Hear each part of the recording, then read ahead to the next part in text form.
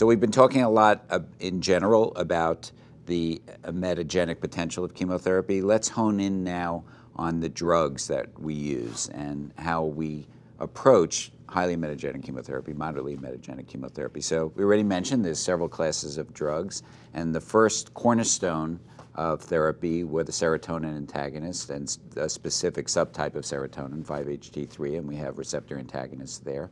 So Dawn, can you tell us a little bit about where we are with that and how we got there? Sure. So we're lucky enough now to have a handful of 5-HT3 antagonists, and we now can separate them out into the first generation and second generation 5-HT3 antagonists. So the first generations being the ondansetron, dolasetron, granisetron oral, um, and then the second generations being our newer agents, palonosetron and the uh, subcutaneous uh.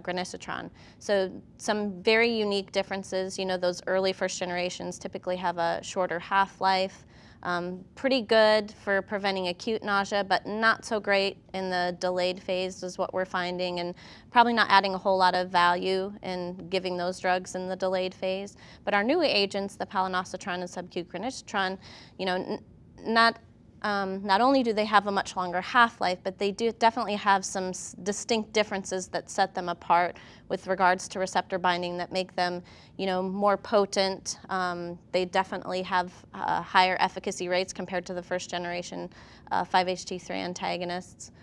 What uh, do you use palonosetron based yes. on that? Yes, we are uh, exclusively using palonosetron right now. And you give that at, at when? Uh, 30 minutes prior to uh, chemotherapy. And one dose for the entire period because of the receptor binding and the half-life? Usually one dose. Um, what we're noticing, and there's some newer data to say that uh, you can probably redose palonosetron. So with our BEP regimen, so bleomycin, etoposide, and cisplatin for uh, testicular patients, we're actually giving that day one, three, and five to give them that extra protection because of the high doses of cisplatin that they're getting. And you mentioned orals, uh, IV and orals. What's the equivalence that you, you see between those? So all of these 5-HT3 antagonists are considered equally efficacious at equal, equipotent doses, whether they're um, oral or IV, depending on um, the dose. What kind of toxicities do you see? Uh, nicely, they uh, have pretty low toxicities. The big biggies, of course, that we see are headache and uh, constipation. And I will tell you though that even though we think these are pretty benign drugs, those can be pretty significant side effects for some patients. You know, some patients come back um, and say, gosh, the constipation I think might be worse than, than the nausea or it might be contributing to the nausea. So it is something that we definitely have to have on our radar despite the, the percentage being quite low. Yeah. We, we see constipation as being the number one on the hit parade of side effects yeah. with uh, palonosetron and we use it pretty much as the standard. Um, but the number is relatively small. I'm saying about you know three percent yeah. mm. is a good estimate. Um, so we don't see too many, but the patients will come in and specifically say that the headaches not so much they'll deal with. Yeah. Um, but constipation, that's they don't want to deal with. So that's do you educate the patients beforehand about those, or are they rare enough that you wait to hear it's, responses? We wait to hear responses. I don't think you know that's something we throw in as being the biggest problem because we don't want people to go fishing and look for side effects. Um, if they come back and they say after the first cycle, typically, you know, really bad constipation, okay, we're going to adjust your therapy then. But that being said, it's always good to take a quick breeze through the med list because these are oncology patients. They're on other drugs that cause constipation, whether it's a chemotherapy drug like vincristine or um, they're on opioids. Right. So they're on concomitant things that can cause constipation. So if you're adding another bonus to that, it, it could Put become significant for a patient. Yeah. I think it's good as, part of your checklist uh, about asking about that specifically, because if they're already on opioids and have constipation, perhaps they would get a little bit more with that. Eric, how do you deal with uh, these complications and once you have these side effects? Do you switch your antiemetics? Do you just treat the symptoms? What's your approach? Yeah, so my experience has been that it's really a class effect, um, that there isn't one that's better than the other with regard to the side effects. Um, so uh, stopping again and uh, educating your patients who are really quite surprised that they need to be more aggressive about a bowel regimen prior to chemo. Everyone thinks they're going to have diarrhea. So um, I sit down, we review their med list. If they're on opioids, I want to ensure that they're taking a stimulant laxative. um, which would be Senna or bisacodyl. Um, making sure those are at maximum doses. Some people for Senna, for example, with opioids only need one tablet a day, and other people need eight. So really letting people know uh, about the stimulant laxatives while they're on opioids. And then um, for 5-HT3 um, induced constipation, I haven't found that one particular drug is more helpful than another. Um, so if it's just purely due to that, I think a softener or an osmotic such as polyethylene glycol would be fine. Good. Other thoughts on, on that? Changing or just treating? I think if you're able to, we sometimes will switch it up just because that's an that's an easy thing to do if you have it available to you. So there are some rare cases where, you know, we've taken a patient and switched them from Palo to ondansetron just to see if it made a difference, especially not, not so much on the constipation end, but the headache. Because I have had some people report those headaches to be pretty severe, last for several days, and not really respond to, um, you know, traditional things like Tylenol or ibuprofen, which we don't typically want them to take after chemo because they can mask fevers, but that adds a whole nother layer of, of complexity to it. Yeah, I think it's a good point though, because many patients don't take anything or don't even call because they've been instructed not to take any analgesics or anti antipyretics, and typically in a day or two after chemo, that's not, Not an a big issue. deal. But they come in, oh, I had a headache for five days. Did you call? No, I just thought that was okay. Did you take a Tylenol? No. So sometimes it's again going back to the simple and the education around that and uh, trying to be proactive. As we were talking about the 5-HT3s, you know, I noticed a couple of you said we are exclusively using palonosetron. I'm not afraid to say at my institution that palonosetron is our drug of choice for highly emetogenic, but in our moderately emetogenic patients, we are still using IV ondansetron um, as the first. Now, we are, it's okay, you can delete that and put palonosetron in for any patient, and you're not going to be questioned on that necessarily.